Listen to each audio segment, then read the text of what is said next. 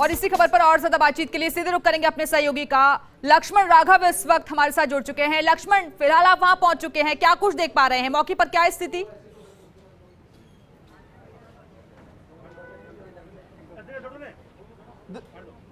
देखिए, मौके पर लोग हैं, आप जैसा जानते हैं, और अभी हमने अपडेट दिया, सुसाइड नोट जो है, दो अलग अलग बात हमने बताई, हमने बताया, एक सुसाइड नोट एसपी के लिए भी छोड़ा गया है, जिसमें क्या कहा गया है, वो भी हमने दर्शकों को बताया। इस वक्त की बड़ी खबर ये है, यहाँ पर सांसद राहुल कशवा है, प्रतिपक्ष नेता राजेंद्र राठौड़ है, पूर्व सांसद राम सिंह कशवा है। ये लोग मौजूद हैं, चर्चा कर रहे हैं, तीन मांगों की बात पहले थी, सीबीआई जाँच की मांग की, कह रहे हैं, एफआईआर दर्ज हो। किसके खिलाफ हो एक सवाल है, पूछेंगे इनसे, और इसके अलावा एक बात और है, उस पर हम बात कर लेते हैं। सबसे पहले राजेंद्र राठौड़ साहब से बात कर लेते हैं।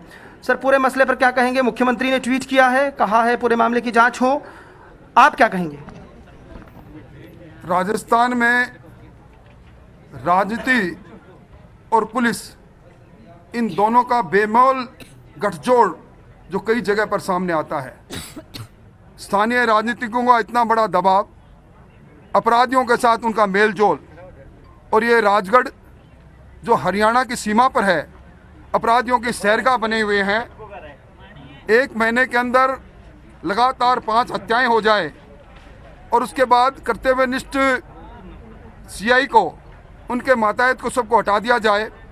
मैं समझता हूँ कि अगर विष्णु जी राज, राजनेताओं के कहने पर अन्य ज़िले के अंदर जो कार्रवाई चल रही है पुलिस कर्मियों की, पुलिस अधिकारियों को इसी लाइन में आ जाते हो तो शायद वो इस मानसिक तनाव के कारण से आज आत्महत्या नहीं करते। यानी यानी इनका कहना है कि उन उन्होंने ईमानदारी और कर्तव्यनिष्ठता के चलते ये हुआ। राहुल कशवा है युवा सांसद हैं।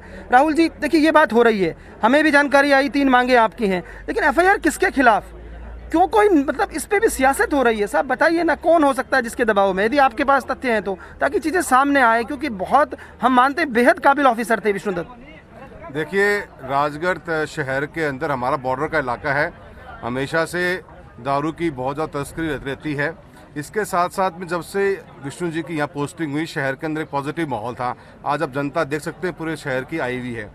ऐसी परिस्थितियों में बार बार अगर कांस्टेबल्स का ट्रांसफ़र हो रहा है तो इसका तो पहले जवाब एसपी महोदय खुद देंगे बताएँगे कि कैसे किया गया, क्यों उतना प्रेशर था उनके ऊपर।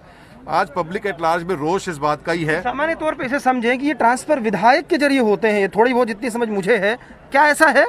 मैं आपकी समझ पर शक नहीं कर सकता, मैं समझता हूँ आप तो सही समझ रहे हैं, पर जो मेरा ये मानना है, ये सब चीज़ें जाँच का मैटर है कि किसी को हटा दिया गया ऐसा जो एक काबिल ऑफिसर काम कर रहा है। राजगढ़ के अंदर पिछले डेढ़ साल में कितने मर्डर्स हो चुके हैं, कल ही शाम को मर्डर हुआ है।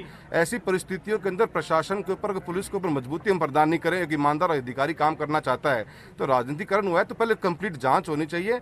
जहाँ तक आपने बात की परिवार वाले सदस्य आते हैं, उसके बाद में बात की जाएगी। मेरा तो ये मानना है कि एक ऐसे ईमानदार ऑफिसर जिसके पब्लिक एट लार्ज का, आप ये देखिए ये एक सिंपली आयरनी है। पब्लिक एट लार्ज उसके ऊपर कॉन्फिडेंस लगती हो और वो पूरी आज शहर हमारा पर उठ के आया हुआ है तो मैं उम्मीद करता हूँ इसमें बिल्कुल साफ़ ट्रांसपेरेंट वे में जाँच की जाए। जनता का थानेदार उनको कहते थे राजेंद्र राठौड़ लोग जो बात कर रहे हैं अभी आपकी परिजनों से कोई बातचीत हुई? क्योंकि पुलिस का कहना यह है कि परिजन अभी तक नहीं पहुँचे हैं। देखिए परिजनों के कुछ लोगों ने मुझसे बात ज़रूर की है वो आएँगे वो देखेंगे क्योंकि यहाँ जहाँ जहाँ वो रहे लगभग तेरह थानों के अंदर विष्णुदत्त जी रहे हर जगह पर उन्हें आम आवाम के थानेदार का दर्जा दिया गया था। एक ऐसा व्यक्ति जो हर घटनास्थल पर भागकर समय पूछता पहुँचता था। किसी के दबाव में उन्होंने कभी काम किया नहीं। आप देख रहे हैं, पिछले एक दिन पहले लगातार एक एक साथ चार लोगों के ट्रांसफ़र कर दिए। उनके रीडर को हटा दिया और उसके बाद इससे पहले दो हेड कांस्टेबल को कर दिए। यानी उनको काम करने के लिए उनके हाथों को जिस प्रकार बांधा जा रहा था, इसी से वो तनावग्रस्त थे। जानकारी तो ये भी कहती है कि उन्होंने कहा था कि मैं इस प्रकार इन अपराधियों को बचाने में मददगार नहीं बन सकता, जो जिन को राजनीति में बैठे आका बचाना चाहते हैं, स्थानीय विधायिका बताना चाहती है। इसलिए मुझे इस थाने में रहना नहीं, मुझे कोतवाली कोतवाली करनी नहीं। उसके बाद उन्होंने कहा कि मुझे हटा दो। मैं समझता हूँ उनको तनाव देने वाले कौन थे। ये जाँच का विषय है। और तनाव आत्महत्या के लिए प्रेरित करने वाले लोगों के खिलाफ कानून संज्ञान ले। कानून सम्मत कार्रवाई हो यही हमारी मांग है। कानून सम्मत कार्रवाई हो जो कि विधायक कृष्णा पुनिया जब बोल रही थी तो उन्होंने भी ये बात कही कि जाँच तो मैं भी चाहती हूँ। आप कह रहे हैं कि उनका दबाव था। आप क्या कहेंगे राम सिंह जी आप? एक मिनट। जी। जरा कृष्णा जी आप ही बता दें अगर मेरी बात सुन रही हो आपकी कितनी शिकायतें जो आपने पिछले दो महीने में इस व्यक्ति के खिलाफ की?